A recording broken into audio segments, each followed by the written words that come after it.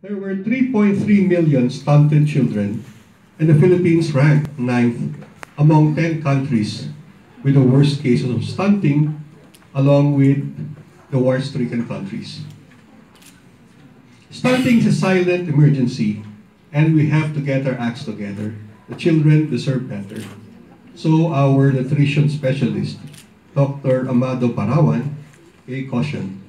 In the Philippines, 95, 95 children die every day due to undernutrition, as stated in a 2015 UN, uh, well, a United Nations Children's Fund, or UNICEF uh, study entitled United for Children. The Philippines was losing at least 328 billion pesos, or 7.06 billion dollars a year, due to the impact of uh, childhood um, malnutrition. Okay. It also impacted on stunting. Uh, in, uh, stunting also impacted on education and workforce productivity. In response to the prevalent problem on hunger and malnutrition, Save the Children launched the Lahat Dapat campaign in 2015 to raise awareness on the issue. Save the Children also pointed to the FNRI data which revealed that overall chronic malnutrition or stunting rate of children under 5 years old had significantly increased to 33.5% from 30.5% in 2013. Now, this is really distressing.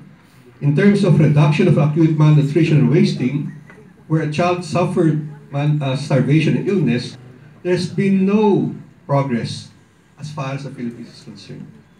The latest national data also shows that children born to the poorest mothers are thrice likely to suffer from stunting.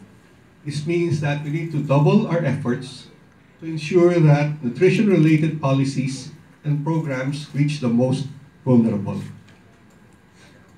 Launched in 2015, the Lahat Dapat campaign aims to raise the public's awareness on the alarming status of child hunger and malnutrition in the Philippines, and to get more people involved in pushing for sustainable solutions that will help end the vicious cycle of hunger and malnutrition in the country. Save the Children believes no child should be left behind. All children, especially the poorest,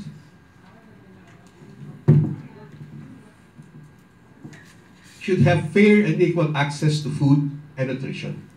Now, what is Save the, Chil uh, uh, Save the Children Philippines uh, program on malnutrition? We have been campaigning for the passage of a law on the first 1,000 days. The first 1,000 days of a baby's life, which covers the nine months of a mother's pregnancy until a child's second birthday, is the foundation of a person's future health intellectual development, and motor and social skills. The law is now awaiting for the President's signature so that it can now officially become a law. And we are really hoping that with your help, this can be done at the soonest possible time. From September 2017 to March 2018, Save the Children Philippines implemented what is called the Community-Based Management of Malnutrition, or CMAM project in Navotas. And then in April 2018, we launched Nurture, or the Nutrition Among Urban Poor through Unified Response Project, which not only provides supplemental feeding uh, program or dietary supplementation, but also included outpatient care for severe cases of mal acute malnutrition, and conditional cash transfers for uh, the social protection support. The project aims to contribute to the reduction of deaths among under 5 girls and boys in Navotas through improved health and nutrition among children and their mothers or caregivers. Nutrition-specific and nutrition-sensitive intervention focusing on the first 1,000 days of life, preventing stunting and wasting, okay, among other five children and improving maternal nutrition. We work in eight pilot barangays in Navotas City. Now let's watch a video on malnutrition.